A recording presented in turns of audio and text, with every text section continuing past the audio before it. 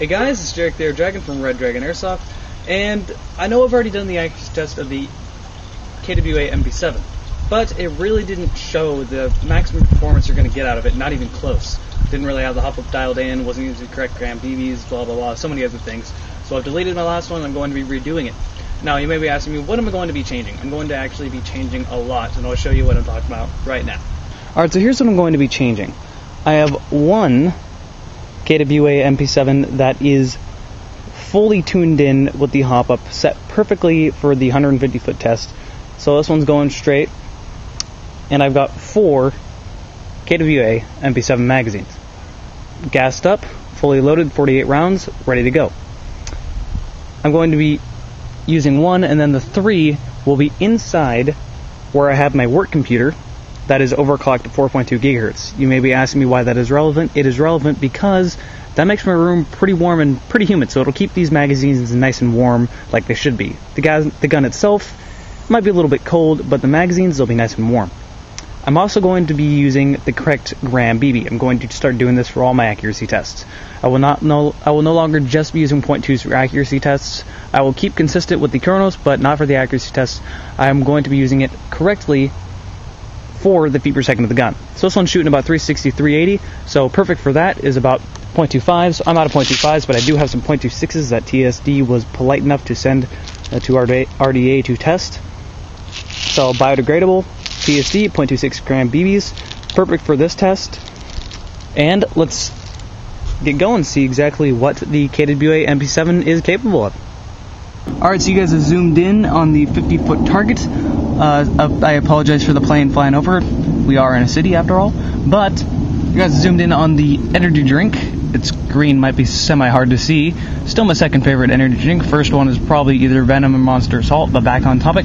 50 feet, we're going to be using that can to see how strong it is and how accurate it is. So 0.26 gram BBs, propane, semi-automatic, let's go.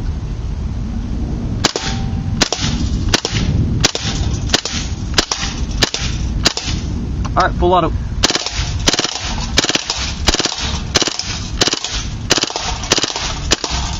And we are out of BBs. Alright, so here's what happened to the can. Whew, that's pretty impressive. Uh, I know it's using a stronger BB and all, but that is still, at 50 feet away, still pretty impressive. Uh, holes all over the can. Definitely something you're not going to want to be hit by. A lot of them just went straight on through. As you can see, exit wounds pretty big. Um, regardless, 50 feet, 0.26 gram BBs propane. You're not going to get shot. You're just not going to want to get shot by this. It's going to hurt. All right, so you guys have zoomed in on the 100 foot target. Should be a pretty easy easy shot uh, with this gun. But let's go ahead and do it anyway. Propane 0.26 gram BBs, 100 feet, semi-automatic.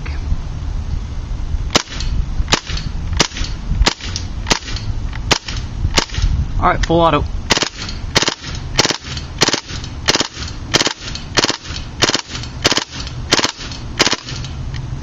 And we are out of BBs. So as you can see, 100 feet every single time, straight into the straight into the target. Really easy shot. Alright, so you guys zoomed in on the 150 foot target. May I remind you, that's a very small target. It's only about 4 inches wide.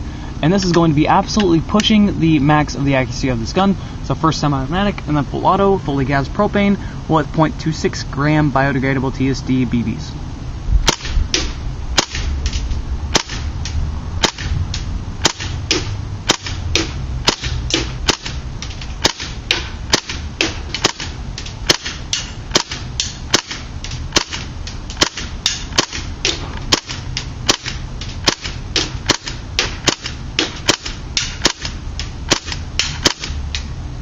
Alright, full auto.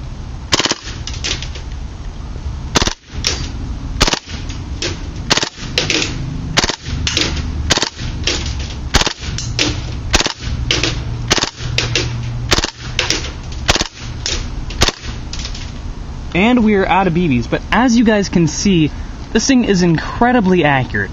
A lot more accurate than what I showed my last test.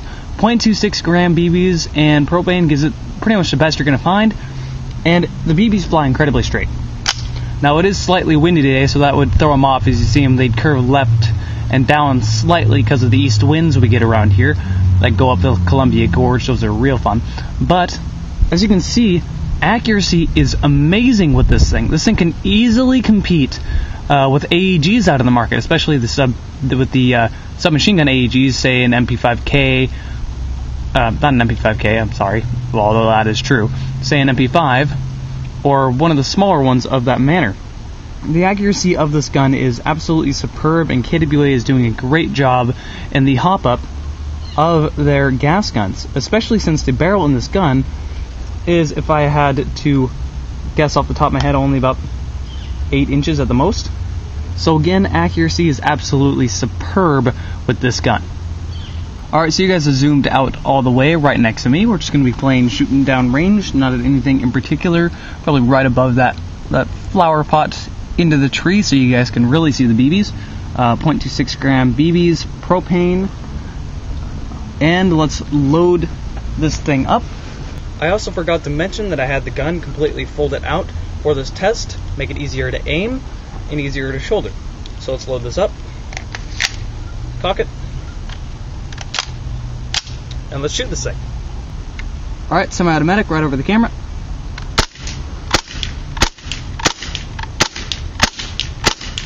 Alright, full auto. And we are out of ammo.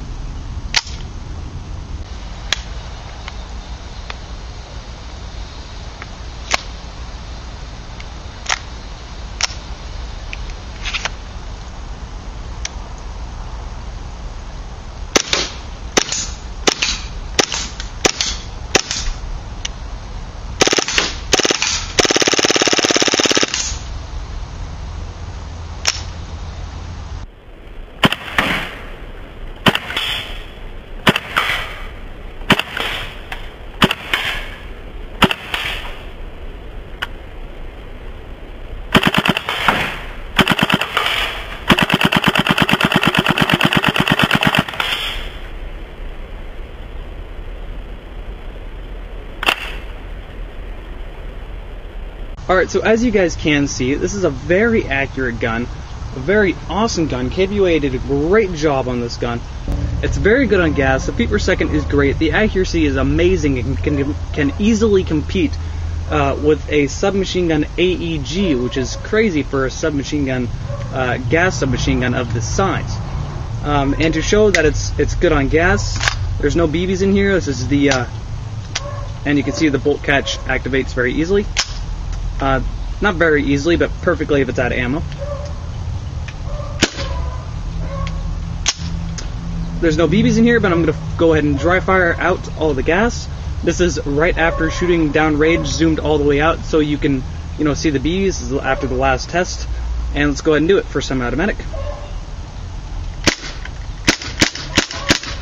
Full auto.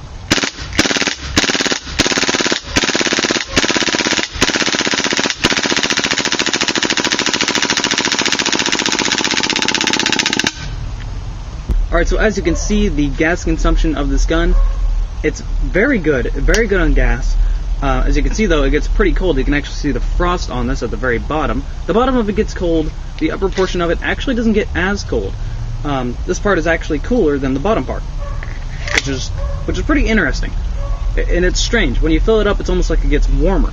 But uh, not sure why that is. I'm probably sure because it's the uh, the gas system they use. But uh, great on gas. You can probably fire about three and a half magazines out before you need to refill. And this is a 48 round magazine, so that's going to last you a while. Um, so you get some extra magazines, and I could see easily using this thing as a main arm in a woodland game. That's how good the accuracy is. So, great accuracy. As you could just see, BBs fly absolutely straight. .25s are probably the best to use for this. And this works great on propane. It's reliable. Definitely an accurate gun. So that has been Red Dragon Airsoft's accuracy test of the KWA MP7.